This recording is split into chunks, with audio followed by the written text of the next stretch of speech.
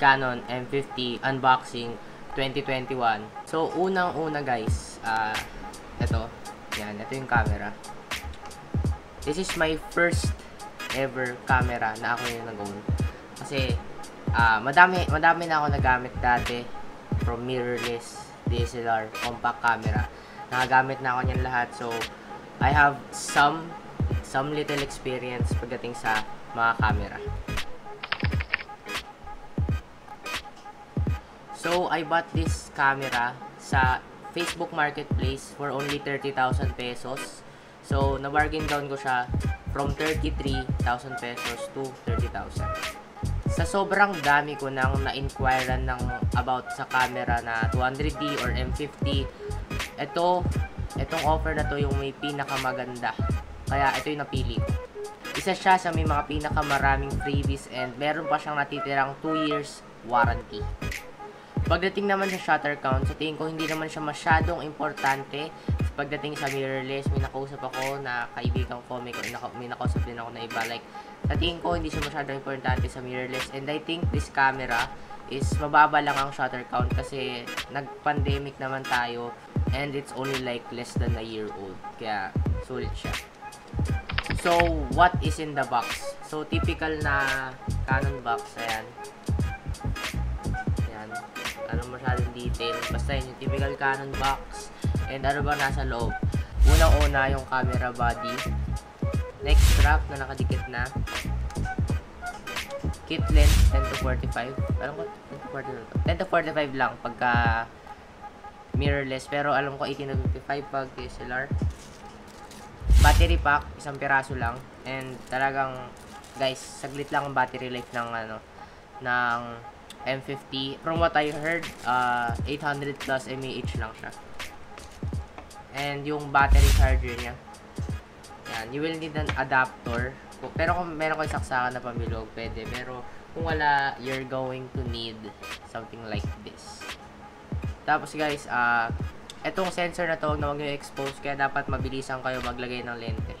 Okay guys, so ngayon, for the third part of the video, papakita ko naman sa inyo ang freebies. So the question is, what are the freebies? Ano nagtulak sa Sean para bilhin yung mismong camera na yon? So ang mga freebies na nakuha ko is pinakauna, itong Extreme Pro 95MB per second na 32GB SanDisk. So lalagay ko sa description box lahat ng equipment na papakita ko sa inyo dito and yung prices na rin para meron kayong idea. Okay, ito yung pinakauna, yung Extreme Pro na SD card. Second freebie is itong Ulanzi tripod. It's probably like 6 inches na ano, tripod. It's smaller than the typical Gorilla Pod. Ito, comparison with the iPhone 6s case. Okay, so ito parang may ball siya. Alam niyo yun, basta maganda siya. Alright, so guys, hindi ako nag-shoot sa mismong camera kasi I will still need to show all of you because I will still need to show you guys all of the freebies and hindi ko magamit pagka hindi ko pinakita yung mga freebies. So, third freebie natin is really, really simple. Uh, ito, card reader lang. Card reader, guys. Pero yung laptop ko kasi may card reader naman na siya na built-in. Kaya, I don't think that I will need this. Pero, baka in the future when I buy another laptop and wala siyang card reader, magamit ko to. So, thank you. Mabibili ito sa Lazada for like 1.5 or less. Wasabi battery, battery pack. Kung di yung Wasabi battery pack, ito yung typical battery pack na binibili kasi do, dal, sa isang pack, dalawa na siya and mas mura siya. Okay, so bakit nga ba may battery pack na kasama? Kasi ang Canon M50 guys, meron lang siyang, again, like I said, is 800 plus, 800 plus mAh, kaya madali siyang malobat. So, you will need battery packs. So, ito, like, big winner kasi meron siyang kasamang battery pack kung ano, kung di nyo alam yung Wasabi battery pack, ganyan siya. Yan. Tapos may kasama siya ng dalawang batteries na LPE12 din compatible with the M50 and alam ko meron din siyang LPE17 na compatible sa 200D. Talagang mag-search na lang kayo. And again, sa description box guys. Ang ating fifth freebie is itong Saramonic, Saramonic na microphone. And na-test ko na siya, Saramonic microphone. Pero meron ako ditong Boya. So, meron na akong dalawa, guys. Saramonic microphone. Hindi ko alam kung magkano siya, guys. Basta nasa baba na lang. Lalagay ko dyan. Okay.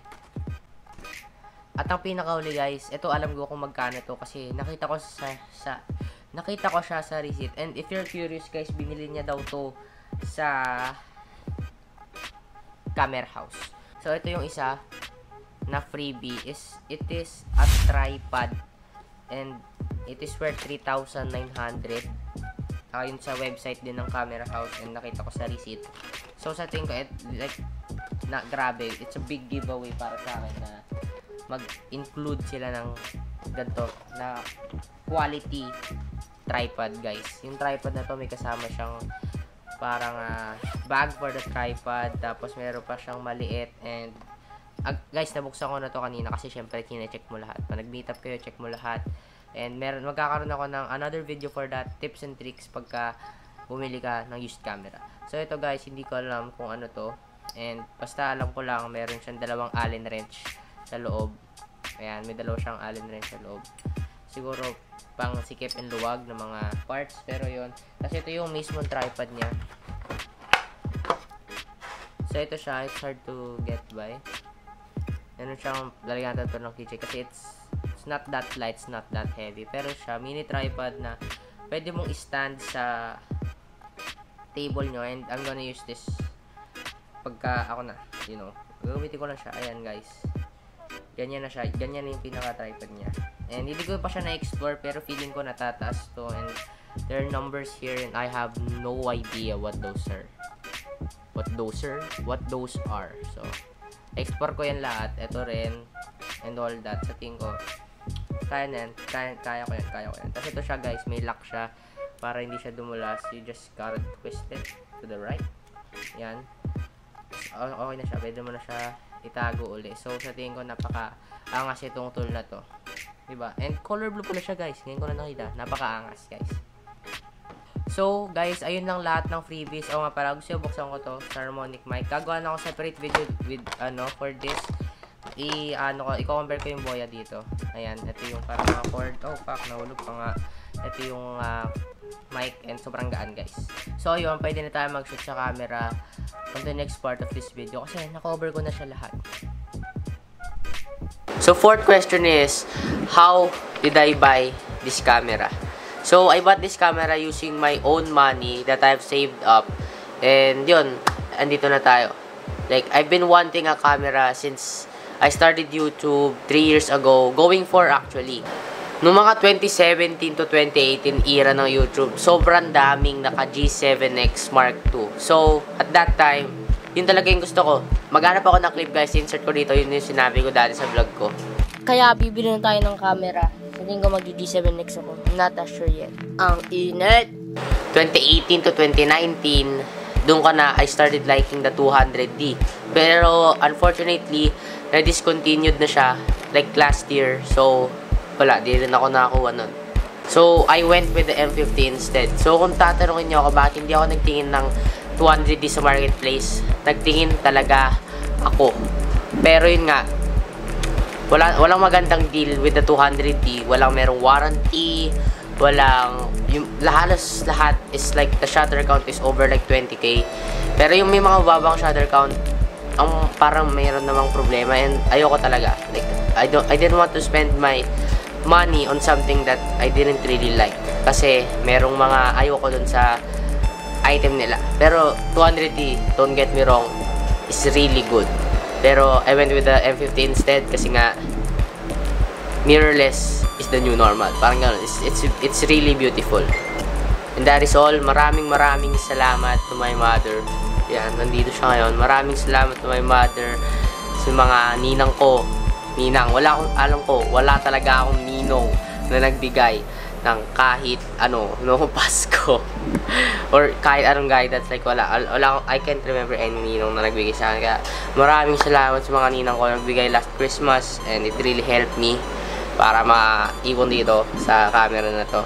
Siyempre, maraming salamat rin sa akin na ako, nagsipag ako nag, una, yung YouTube, sinipagan ko, like, last year, from September to December, yun talaga ako nag-ride. Kasi nag-ano ko eh, nag, nag, I took a break from April hanggang September. And ang haba nun, hindi naging dormant ako sa YouTube. And, yun, nagsipag lang ako. And, lahat ng pag, pinag-ipunan ko, dati, nag, nag-buy and sell din ako, yan, and then, YouTube, and basta, anything that I can earn money with. Eh, ngayon pa naman is wala tayong, ah, wala, wala, wala. Tayong mahon sa eskwela, buddy. Kaya, talagang mahirap mag-ipon. And syempre, lastly, thank you God. At nakabili na ako ng camera. So that is all for this video. If you have any questions, comment down below. Sasagutin ko yan tungkol dito sa camera na to. I will be uploading a lot of videos about this camera and comparisons and everything. And very soon is the vlogging test. Like, comment, share, and subscribe. Support Filipino vloggers. Peace. Paglalaro ako pa guys kasi ngayon ko pa lang siya nawakan and this just first day. Sean, remember this day, January 10, Sean, January 10, January 10. So yun, this is just the first day and hopefully by a week, mas madami na akong alam and makagawa na tayo ng short film. Pag-aaralan ko to week long para sa content na ating mailalabas. So guys, kung umabot kayo sa punto ng video na to, which is sa pinaka-end ng ating unboxing ng M50, comment down below, t-shirt. Alright, so trivia lang. Ba't ko to sinuot tong t-shirt na to? Kasi, nung nag 100 subscribers ako, 3 years ago, kailan mo wait lang. Hindi ko naman kung kailan ako ng 100 subscribers. Basta nag 100 subscribers ako 3 years ago. Ay paggawa ko ng t-shirt. Ayan. Walang magawa. Yan yung nilagay. Yan lang. Wala, wala pa yung logo ko na parang itim eh. Yan lang yung nilagay ko. Nagkaroon lang ata ako ng mismong logo nung mga nagka 500 na ata ako. Pero nung nagka 100 ako, eto ka, nagpagawa ako ng buong t-shirt. 'Di ba? Napakasaya. Trivia lang guys, baka di nyo alam.